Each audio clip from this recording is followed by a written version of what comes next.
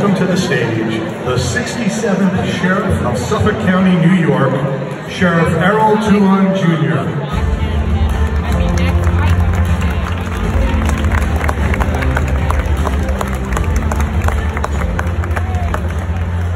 Thank you for the privilege to be here and talk about an organization that is making our schools safer and protecting children everywhere from harm, whether from gun violence, other crimes, or suicide.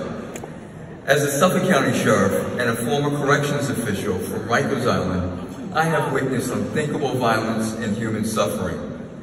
I was working in New York City when the World Trade Center was attacked. Seeing all of that and then personally battling pancreatic cancer and lymphoma, I made a promise to myself and to God that if I survived, I would do something good in this world. That's when I made the Sandy Hook promise to do all that I can to protect kids from violence. I was struck by how a simple and powerful message like know the signs of a peer in distress and how to seek out help could have a profound and lasting impact on our communities. Inspired by this program, I and some of my officers decided to become Sandy Hook Promise leaders and deliver the program to Suffolk County schools. Suffolk County is a lot like Parkland, Florida and Newtown, Connecticut. Crime is low, we have great schools and caring communities. But as someone that walked countless cell blocks and spent time talking with kids in jail, I can tell you that children's pathways to violence and suicide are inextricably linked to trauma, a lack of mental health support, bullying and abuse, factors that often manifest in high anxiety, aggression, signs of depression, and sometimes a lack of empathy. These issues can lead to escalating behavioral problems in schools and in our neighborhoods. What I love about Sandy Hook Promise is that the programs teach our youth to be empowered bystanders, or upstanders as SHP says. Together, we have trained more than 8,000 students in Suffolk County this year to know the signs and to say something to a trusted adult when they see someone who isn't acting like themselves, could be depressed, or who might be saying things about harming themselves or others. These are the same kinds of ideals that inspired me and so many of my colleagues to go into law enforcement. I'll leave you with a story about how this played out in that one severely at-risk school district and the profound impact it had on me and my staff.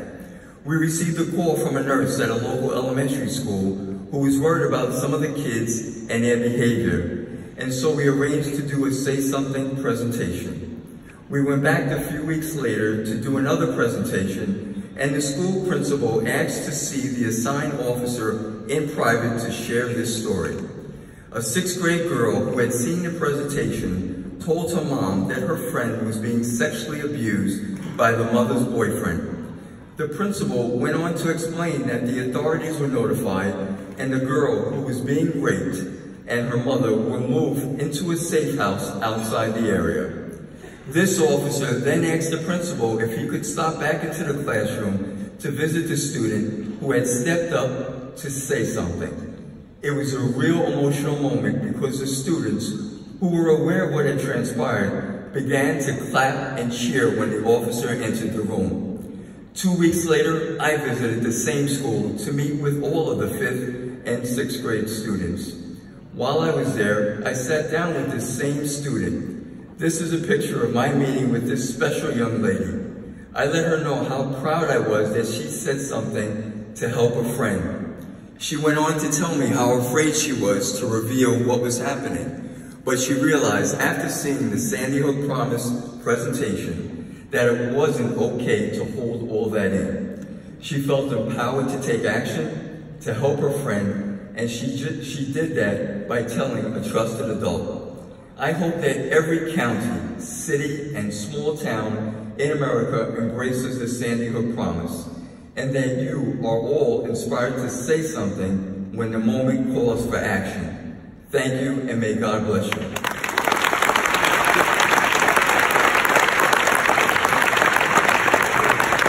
Ladies and